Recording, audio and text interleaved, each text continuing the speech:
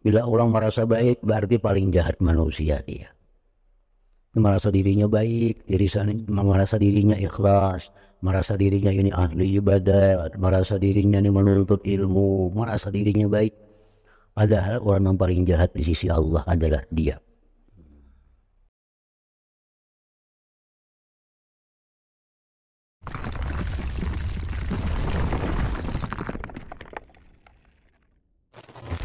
Al-ikhlas Adapun tentang ikhlas maka Allah Ta'ala berfirman Wa ma umiru illa liya'budullaha mukhlisina lahuddin Maksudnya dan mereka tidak disuruh tidak diperintah kecuali untuk beribadah kepada Allah dan mengikhlaskan baginya Allah akan agama. Jadi ayat ini memberikan pengertian kepada kita yang pertama bahwa kita disuruh beribadah kepada Allah. Yang kedua, kita disuruh ikhlas dalam beragama. dan telah sampai riwayat kepada kami daripada Hudzaifah ibn al-Yaman radhiyallahu taala anhuma berkata Aku bertanya kepada Rasulullah sallallahu alaihi wasallam tentang ikhlas. Lalu baginda bersabda, Sa'alatu Jibril anil ikhlas ma huwa. Faqala sa'alatu Rabbil Izzati anil ikhlas ma huwa. فقال سر من أسراري أودعته قلب من أحب من عبادي Artinya, ujar Hudzaifah, aku telah bertanya akan Jibril. Artinya aku telah bertanya, ini sabda Rasulullah sabda Rasulullah, aku telah bertanya akan Jibril tentang apakah sebenarnya yang dimaksudkan dengan ikhlas itu. Lalu Jibril berkata, Aku juga bertanya tentang ikhlas itu kepada Allah Ta'ala. Maka ia menjawab dengan firman-Nya, ikhlas itu ialah suatu rahasiaku. Ikhlas itu dari Tuhan rahasiaku yang aku letakkan, yang aku titipkan akan dia di dalam hati hamba-hambaku yang aku kasih.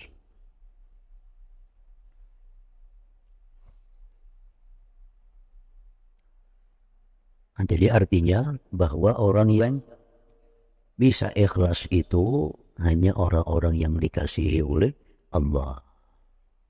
Itu artinya. Bila orang itu kada dikasihi Allah, orang itu kada dicintai oleh Allah, kada kawah ikhlas.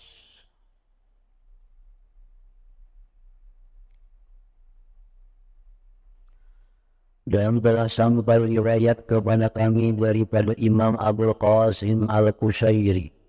Rahimahullah ta'ala beliau berkata, Ikhlas itu ialah menunggalkan mengkasat Allah pada membuat ketaatan.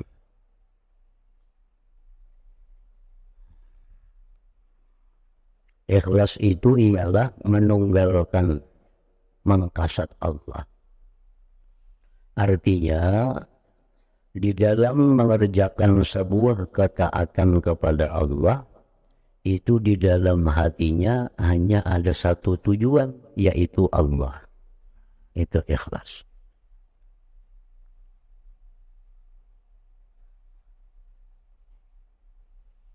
yaitu dengan bahwa seseorang itu hanya menghendaki dengan ketaatan yang dilakukannya itu akan menghampirkan diri kepada Allah bukan mencari sesuatu yang lain daripada itu. Sama ada kepura-puraan bagi manusia, kepura-puraan, tasannu atau memperolehi pujian di sisi manusia atau apa juga nilai pujian daripada makhluk atau apa juga maksud selain daripada menghampirkan diri kepada Allah Ta'ala. Nah itu ikhlas baik sembahyang, baik puasa, baik bersedekah, baik mengajar ilmu, baik menuntut ilmu, bila tujuan di dalam hatinya mendekatkan diri kepada Allah, kada ada yang lain pada itu, nah maka itu ikhlas Maka bila ikhlas ini satu dekat dengan Allah. Yang kedua, bila ikhlas itu berpahala jadi berpahala jadinya. Yang ketiga bila ikhlas itu dipuji oleh Allah. Yang keempat bila ikhlas itu dipuji oleh manusia. Yang kelima bila ikhlas itu menuntung pekerjaannya. Banyak lagi bila ikhlas itu Jadi beribadah tadi, menuntut ilmu, mengajar ilmu, berzikir. Nah, tujuannya hanya satu, mendekatkan diri kepada Allah. Nah lain-lainnya itu kita umpat di situ. Bila kita tujuannya sudah untuk mencari penilaian dari manusia, Allah ada menilai lagi. Allah akan menilai lagi. Bila orang beribadah mengerjakan kebaikan supaya dipuji oleh manusia, Tuhan kada muji lagi. Tuhan kada memuji lagi. Tapi bila orang beribadah itu tujuannya karena Allah, Tuhan memuji. Maka bila Tuhan memuji ini, otomatis manusia pun memuji. Bila dekat lawan Allah, otomatis dunia pun dekat lawan dunia.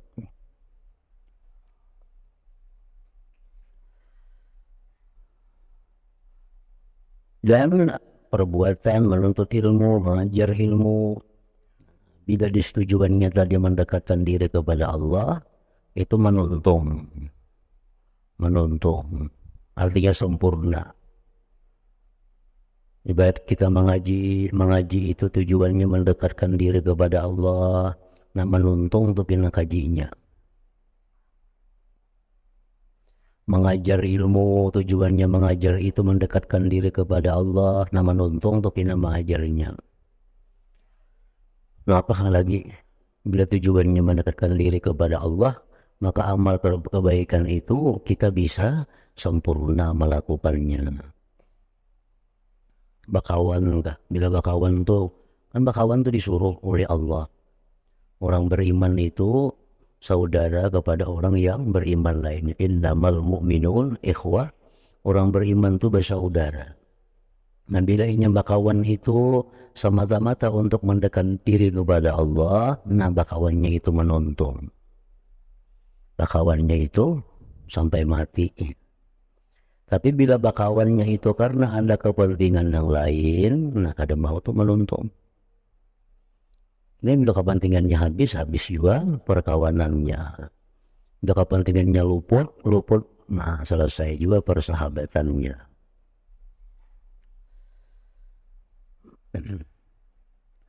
Nah jadi ngaran ikhlas itu tadi bila ibadah yang ditujunya itu adalah supaya dekat lawan Allah.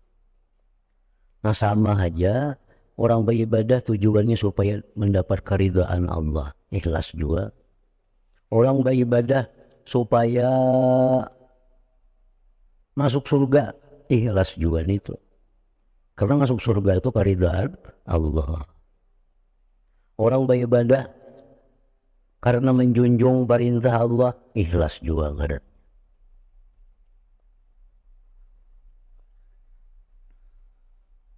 Dan berkata Imam Al-Qushairi rahimahullahu ta'ala ikhlas itu ialah membersihkan perbuatan daripada bercampur dengan makhluk.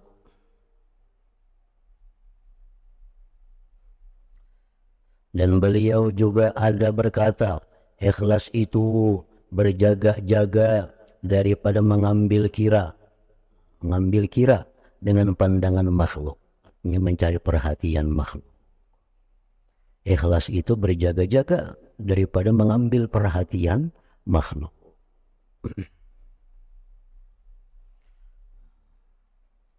dan mengikuti Al-Imam Abu Ali Ad-Daqqaq rahimahullahu ta'ala pula. Ikhlas itu ialah terpelihara daripada mengambil kira dengan pandangan makhluk. Dan sidik benar itu membersihkan diri daripada peranan nafsu. Maka orang yang ikhlas itu tiada ada ria baginya dan orang yang sadik benar itu tiada ada ujub merasa bangga di dalam dirinya.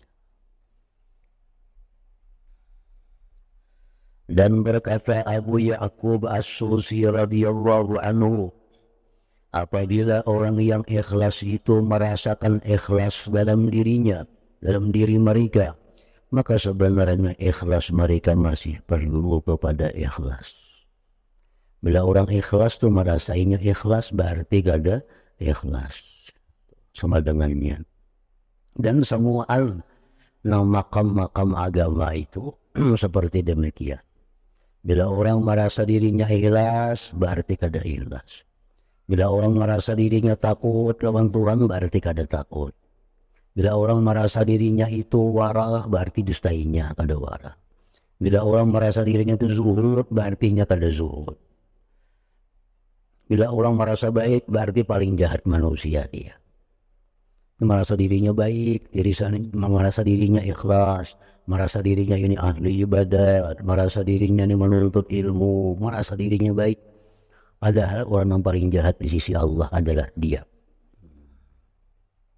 Apabila orang yang ikhlas itu merasakan ikhlas dalam diri mereka, maka sebenarnya ikhlas mereka masih perlu kepada ikhlas. Naku berikan mengambil naku ikhlas berarti kada ikhlas tuh. Mengikhlas tuh berada aja. Masih ambil aku ikhlas memberikan ikhlas tuh kada ikhlasnya. Berarti ada apakah di balik itu nang kepentingan dirinya. Nah ikhlasnya berada aja.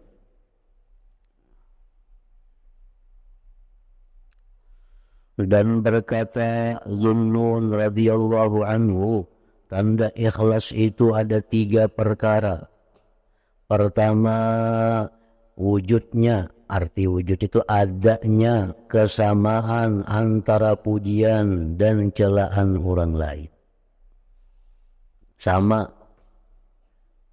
Sama dalam arti bukan sama 100% lain.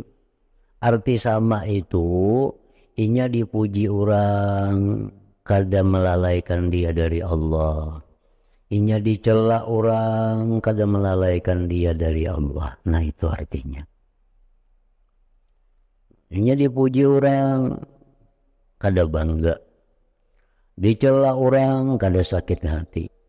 Kada ada masalah orang memuji kada makasih orang kada memuji kada apa nah itu itu tandanya ikhlas. Udah dipuji orang lalu bersemangat hmm, udah dicela orang lalu pinakuler nah itu kada ikhlas sudah ngaran orang mencela kada jadi masalah. Orang memuji kada jadi masalah orang menghirani kada jadi masalah. Orang kada menghirani kada jadi masalah. Itu tanda ikhlas. Artinya kada jadi masalah itu apa? Kada membuat inya susah. Hmm. kadang-kadang nah kita di, dipuji orang dihargai orang lalu kita lupa diri. Nah itu kejangan. Dicela orang lalu kita dalam hati ini marah jangan juga.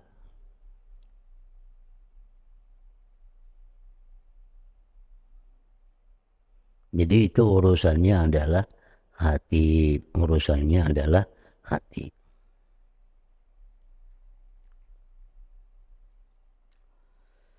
Kedua lupa melihat amal dalam beramal lupa melihat amal dalam beramal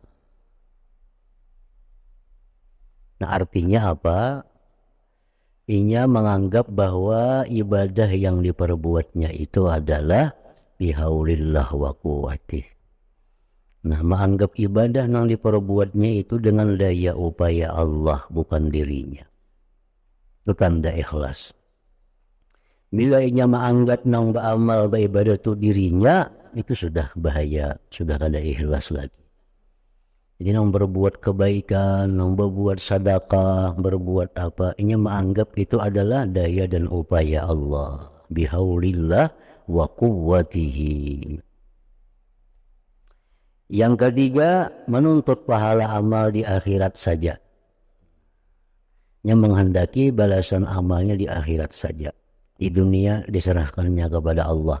Nak diberi dalam dunia Tuhan nak ada kali jadi soal. Tapi yang penting di akhirat yang diharapkannya. Nah itu tandanya ya. Ada orang memberi kita beri kita beri kita beri. Betul orang ini tuh lalu orang kita kada baik lagi. Kalau ampih kita beri. Nah itu artinya menuntut balasan di dunia. Jakanya menuntut balasan di akhirat kada mau bampi kada mau bampi yang menuntut balasan di akhirat. Nah kita bisa mengungkusi, menyumbang, membantu si Pulan bin Pulan. Kita beri duit tiap minggu, kita beri duit tiap bulan, kita beri duit tiap enam bulan, beri duit tiap tahun.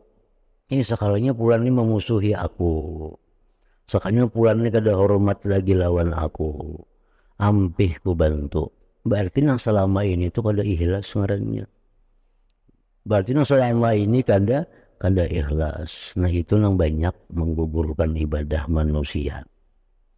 Nah, kita kada tahu ibadah kita baik kadanya kalau kada tak uji dengan demikian itu.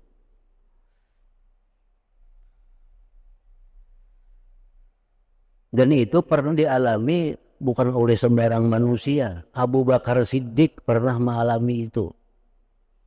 Abu Bakar ini ada membantu orang sakit ngarannya Mistah. Mistah ini orang pakir miskin dibantu oleh Abu Bakar. Diberi makani hari-hari. Berpuluh-puluh tahun ke itu. Usah kalinya si Mistah ini menyebarkan isu bahwa Aisyah anak Abu Bakar bapacaran lawan sahabat Nabi. Nah si si, si Mistah. Abu, maka Aisyah ini anak oleh Abu Bakar Siddiq. Mistah yang diungkusi mulai awal hidupnya diungkusi orang bakir orang miskin. Sekalinya Tuhan menyebarkan isu, menyebarkan gosip bahwa Aisyah bapacaran lawan Safwan sahabat Nabi. Ribut orang Madinah. Abu Bakar tahu Oh, mistah sekalinya yang menyebarkan gosip gitu. Sarik Abu Bakar ampih membantu mistah. Kadang mau ungkusi lagi. Nah, secara akal tuh wajar aja nih tuh. Ya kalau secara akal kita cocok aja nih. Orang ini luput dibantu ngarannya. Hmm, secara nafsu kita, secara pikiran kita. Ada patut dibantu ini menyakiti, mana dibantu, mana kayak ini pulang. Kalau Abu Bakar ada lagi membantu turun ayat Allah, turun Al-Quran, menegur Abu Bakar jangan kayak itu. Walaupun orang itu demikian, tetap inya dibantu, tetap inya dinafkahi. Nah, jadi itu. Kalau orang mengharap pahala akhirat, kadang memandang siapa yang dibantu nang musuh kah, nang menyakiti kah, nang menyamani kah, nang membantu kah.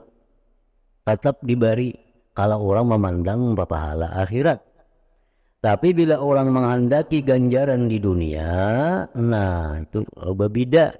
Bila nang menyakitinya, gak ada dibantunya. namanya maninya itu nang diberi itu kalau sudah memandang kepada pahala atau balasan dunia itu tanda-tanda kada ikhlas ngarannya